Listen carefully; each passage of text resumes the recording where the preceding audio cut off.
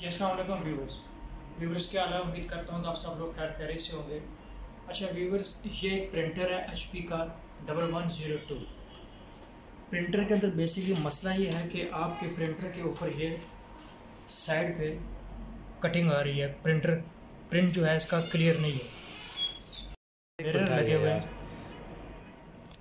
ये basically scanning unit में जो स्कैनिंग यूनिट के मिरर लगे हुए हैं शीशे ये वो शीशे डस्ट आने की वजह से, टोनर आने की वजह से तो ये साइड पे आपकी प्रिंटिंग में थोड़ा सा मसला कर रहा है। तो मैं आज आपको बताऊँगा कि इसका स्कैनिंग यूनिट कैसे खोलते हैं और इसको कैसे साफ़ करते हैं।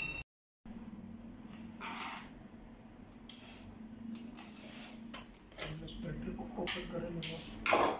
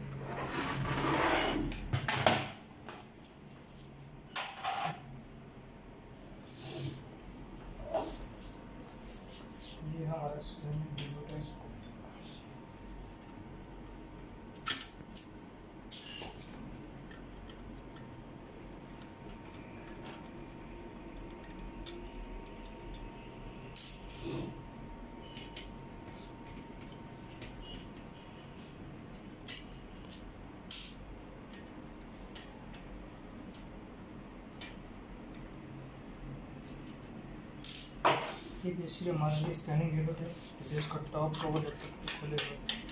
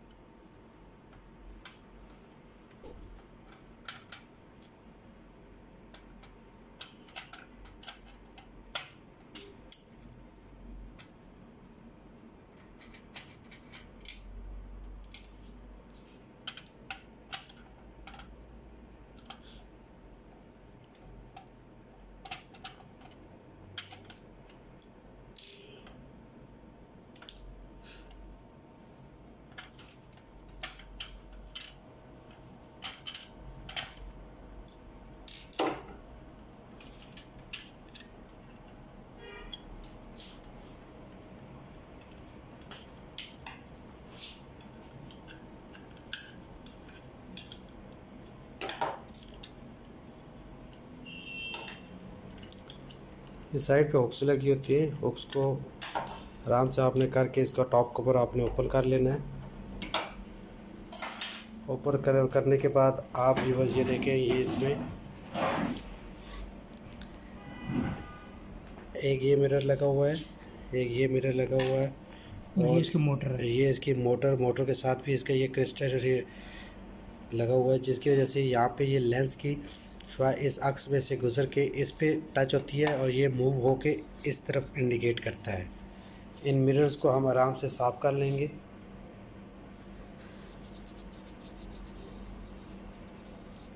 ये आप टिश्यू को देखेंगे इस पे, जो गर्द निकली है, ये आप ये देखें, ये इस पर डस्ट थी। अब मिरर को दूसरी तरफ़ से भी हम आराम से साफ़ कर लेंगे। ये देखें इस पे जो डस्ट लगी हुई है।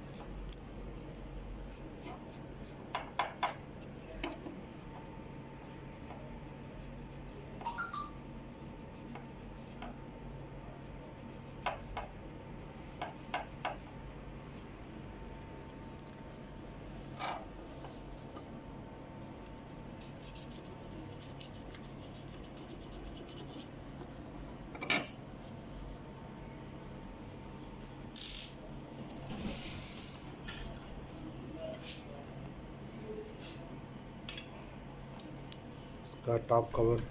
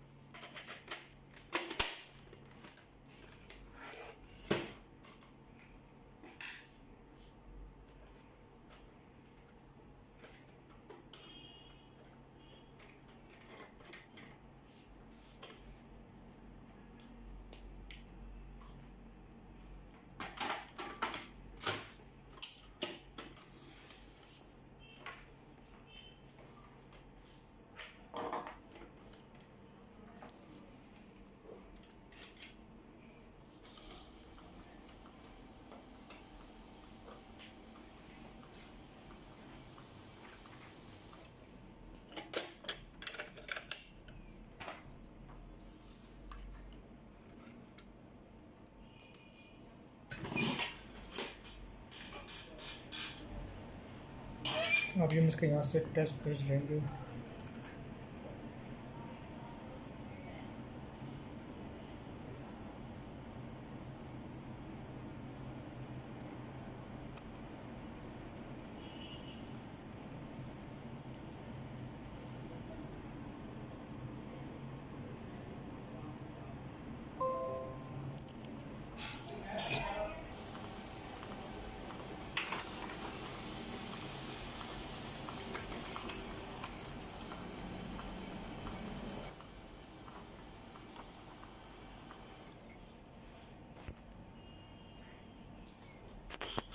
प्रिंटिंग बिल्कुल क्लियर हो गई है। जो साइड पे जो मिसिंग आती थी यहाँ पे वो मिसिंग खत्म हो गई है जिस तरह ये पहले वाला पुराना देख ले यहाँ ये साइड पे कटिंग आ रही थी मिसिंग तो अब ये भी प्रॉपर आ रहे हैं।